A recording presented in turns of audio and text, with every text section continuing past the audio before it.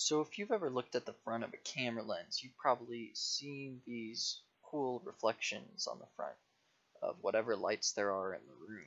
You can see those reflected on the front of the lens. Now, while these mostly just look cool, uh, they're actually pretty useful as well. For example, here people are figuring out the lens design of a lens based on only the reflection of lights in it. Additionally, um, if you have a broken lens with optical problems, you can uh, help troubleshoot those problems using these flares. One way of doing this is simply taking your lens and spinning it very nicely along its axis. Um, the best way I've found to do this is to get two books or something like that and uh, press your lens up against them and rotate them and it should spin uh, pretty nicely around its center. In a normal lens, uh, if you have your lights really steady and you keep your eyes really still, uh, or your head really still rather, as you spin the lens, the lens flares that you see reflected off the lens shouldn't change at all. You should just see those in the same exact position no matter as you rotate the lens. And this makes sense because all the optics in a lens are symmetric around the center of the lens. However, if you have an element knocked out of place tilted or something like that, if you look really carefully as you rotate the lens, you can see a little flare of light belonging to the out of place elements orbit around as you spin the lens.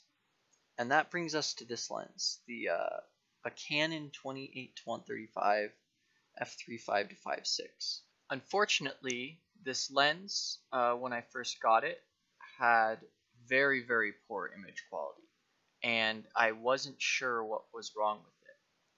So first, I just decided to disassemble it and uh, see if there was anything obviously wrong with it. So on my first disassembly, I found that a little brush used to encode the zoom position of the lens was bent out of place. And upon finding this bent brush, I incorrectly assumed that it was the source of not only some electronic errors that occurred when the lens was attached to a camera body, but also the poor image quality. And when I put it back together, the errors disappeared on the camera, but the image quality of the lens was unchanged. So then I disassembled it again all I really found this time was some things felt a little loose, I guess, but nothing uh, really that major. It was at this point that I thought of doing this rotation trick. And sure enough, there was a little light orbiting around.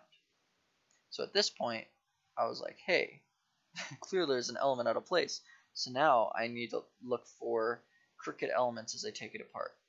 So on my third disassembly, I took it apart this time stripping it completely down to uh, uh, until I could see almost all the elements separate without hurting anything.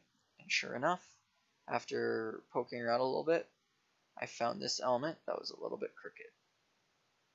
And all it took was just pressing it back in.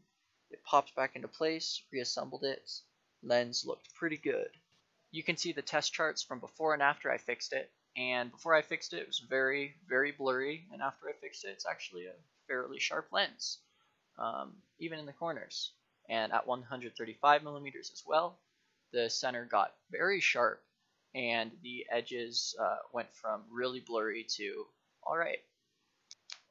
And I was able to fix this lens just in time to take some nice pictures at a climbing trip in Red Rocks, Nevada.